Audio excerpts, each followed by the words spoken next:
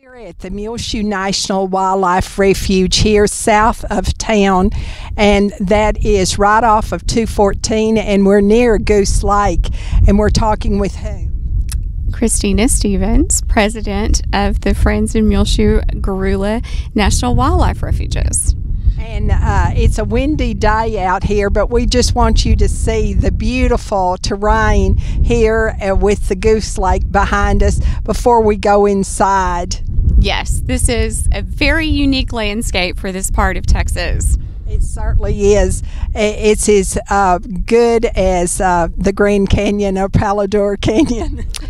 Uh, no, but for this part of Texas, when you think of part te- this part of Texas or this region of Texas, a lot of people would assume flat cotton fields, uh, sorghum fields, just flat areas. But this actually has mesas and actual really cool landscape.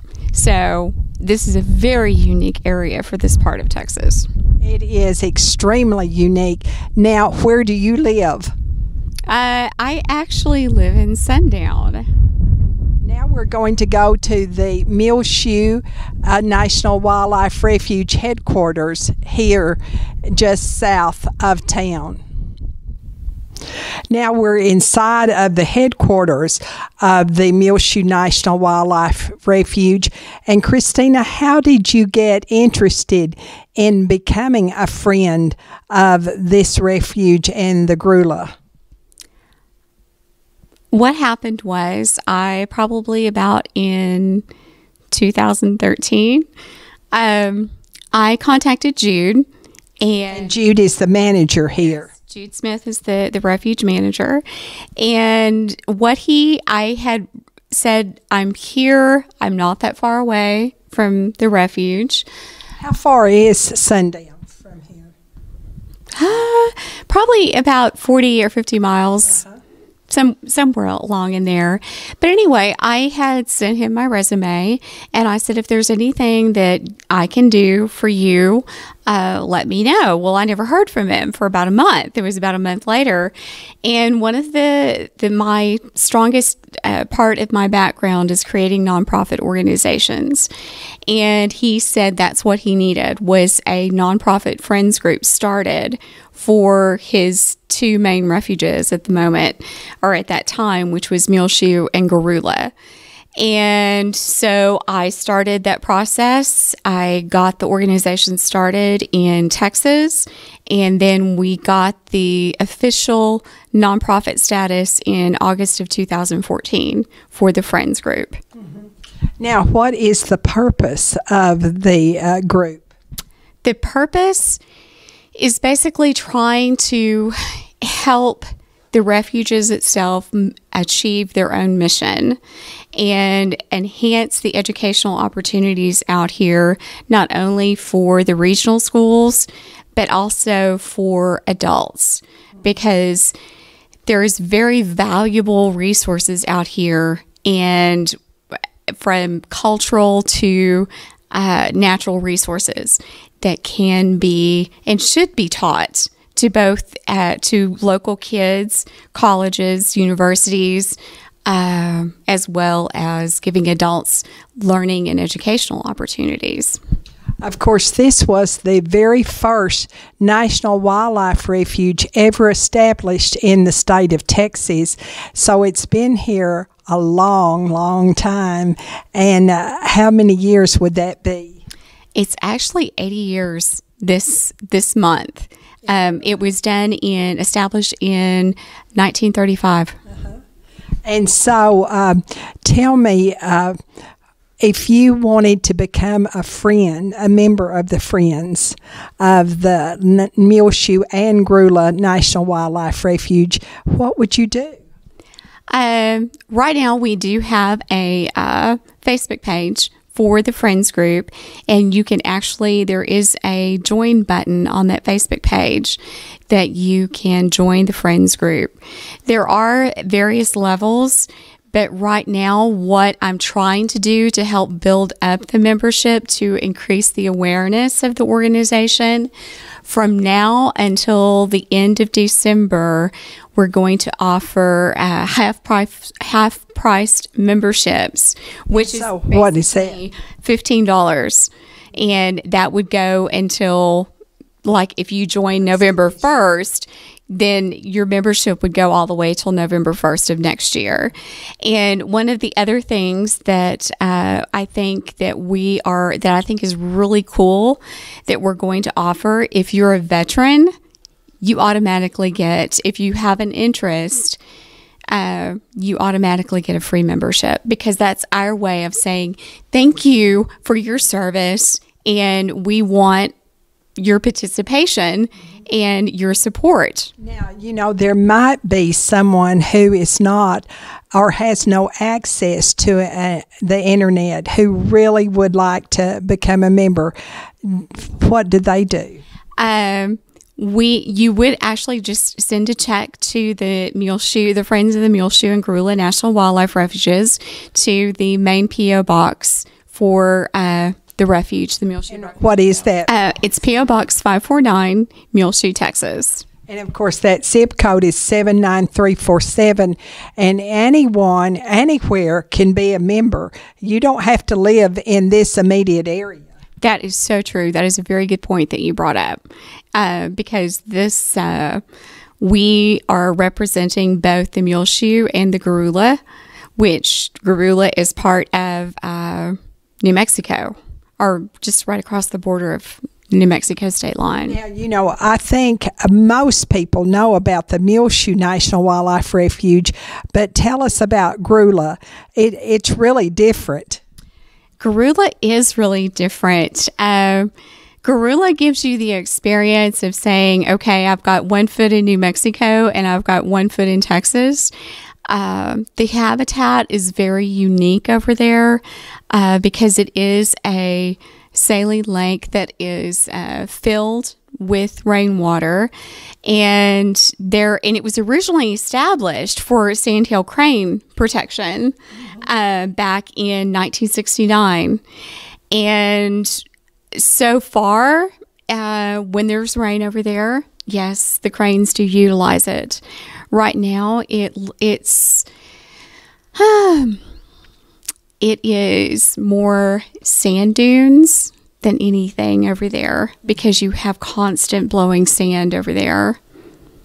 We we have plenty of wind in eastern New Mexico and uh, West Texas as well.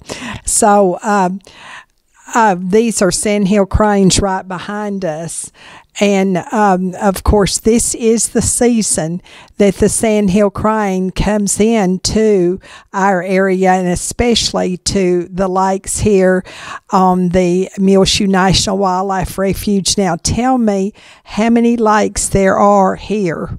Uh, there are three lakes. There's Paul's Lake, Goose Lake, and then White Lake. And of course, uh, from 214, 20 miles south of Muleshoe, you can see the sign that will take you right to the Paul's Lake, and it does have an observation deck there. Uh, yes, it does.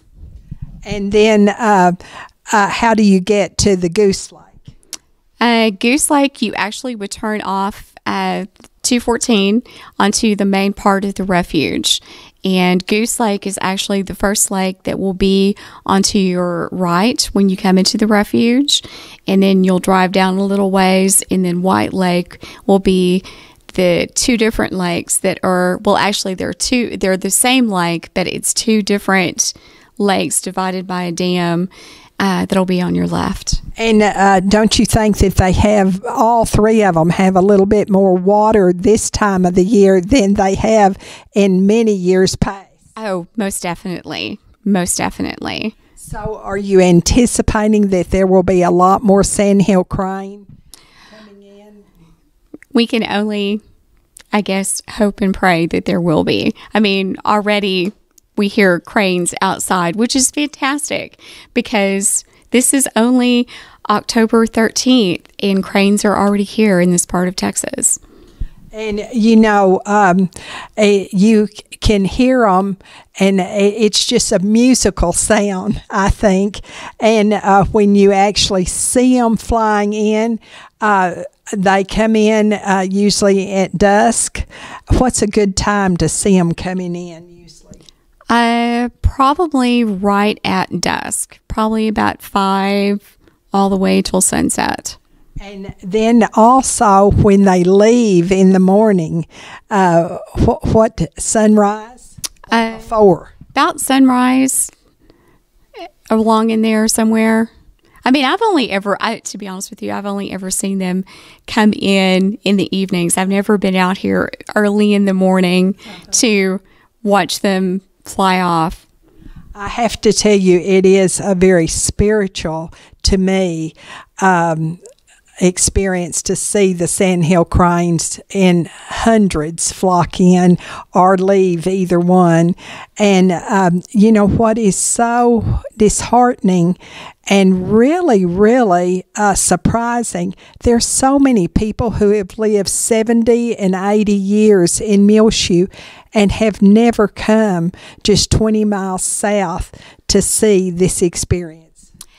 And that is a very good point you brought up because even some of the people that I've talked to, like in the Lubbock area, they're like, "We've got a refuge in this part of Texas." Yes, you've got the you've got the the original first one that started, and it amazes me the people that even are uh, older, like in their 60s or 70s, that have lived in this area for maybe 30 or 40 or 50 years, they don't know this place exists. And that's what I'm hoping that that is one of the the missions that we can help with with this friends group is helping bring that awareness that this unique place is here for all to see and enjoy not just a select few that probably know about it. Because unless you do come out here you're not going to to see the sandhill cranes, or you're not going to catch maybe a, a great horned owl, or the barn owls flying, or the occasional badger or coyote, or The deer. the deer, or the prairie dogs that are here. Um, and this is just this is just a very this is a very unique, special place that everyone needs to enjoy. It really is, and there's no charge. It's free. You you come into the refuge, Grulla and Muleshoe, and uh, there's no gate fee. You just come right in. Yes, that's true. Also, there is a a campground uh, where I think it's just a wonderful place to bring a Boy Scout troop, a Cub Scout troop, a Girl Scout troop, the Daisies, or a Sunday school class, uh, any age. Uh, would enjoy uh, just going and uh, maybe uh, having a wiener roast there and uh, doing some hiking. And that's true. You, there are several hiking trails out here that uh, that can be enjoyed. There certainly is. Now, uh, tell us, uh, besides what you have mentioned, what other animals can you think of that uh, might be spotted? Um, I actually got to um, spot and actually see what is called a hoary bat, and uh, I was out here with my friend uh, Willa Finley. And we were checking out the Bodark tree because we were actually out here trying to see what we could do uh, for a seed gathering workshop next year and plan for one. And she's standing underneath the Bodark tree. And then finally she goes, Christena, what's this furry thing up here in the tree? And I thought, what in the world could she be looking at? And I went over there and I st- I looked right up at the spot where she was at. And um, as soon as I saw it, I went bonko because I've only seen hoary bats in uh, mist nets when I've actually helped do uh, catching bats. And so when I saw that, I was like, yeah, I said a few choice words, unfortunately, but they were like, it was happy excitement because it was like, oh my gosh, because that was just a rarity to see that little guy just sitting, you know, just hanging out on that bodark tree about eleven. It was o'clock in the morning. It was in the morning. Uh-huh. uh, we've had one in our, not a bodark, but a bat in our house uh, years ago, and um, m- m- we let it go. I'm good for you. Uh, it was sort of scary though. Yeah, but see, that's the wonderful thing. Bats are not scary. And I mean, really, all wildlife is not scary. You just have to be taught to appreciate it. Now, uh, if a class wanted to come here, like uh, from school or from a college or university, uh, how do they arrange? Or if you want to come out and camp, eh, are there camping facilities actually here? Um, there is some camping facilities down at the campground, and normally, while those are free, it would be suggested that you do call the headquarters to let uh, the personnel know that yes, I am coming. Uh, because while that there is no charge, it just it would be nice to let them know that somebody is actually there. And the same kind of goes with the uh, school groups using it. Even though we're in the process, one of our main missions is the education part of it for uh, uh, the Friends group. Still going back through and, and talking uh, to the refuge headquarters and then trying to coordinate maybe with the Friends group would be extremely helpful for both entities. Now, do you have a telephone number for the Muleshoe National Wildlife Refuge headquarters? 806 946 3341. And of course, uh, the secretary here at the Wildlife Refuge is Glenda Copley of Muleshoe. Uh, she's been here for 28 years and she can help you immensely uh, in any way uh, possible. And so now, uh, is there something else that you need from the public uh, in regards to the Friends organization? Basically, what I would like to see is to bring more awareness that the Friends group is actually here. There may be someone that is listening to this interview um, that has maybe already had a really long, strong love for this place. And maybe they would be willing to serve uh, in a board capacity, whether it's an executive board position or an advisory board position, uh, because right now we are wanting to strengthen both of those boards to help continue to get this organization uh, off the ground more and to help it continue to grow. Now, is there anything else that you would like to tell us about the Muleshoe National Wildlife Refuge or the Grulla? See, when you put me on the spot like that, I have no clue. Um, honestly, Just stop it. We want to thank you so much, Christena Stephens of Sundown, right? yes. and uh, she is the president of the Muleshoe and Grulla Friends of the Muleshoe Grulla National Wildlife Refuge. And uh, be sure, if you're interested in any way, to go on to, is it called Friends of on the Facebook? Yes, friends, Friends of of- and uh, National Wildlife Refuge page, and you can even join the friends that way or call the Wildlife Refuge here for more information. And I know that they would appreciate your interest, but you will be really blessed if you come and enjoy the sights and the sounds of the refuge. Thank you. Thank you.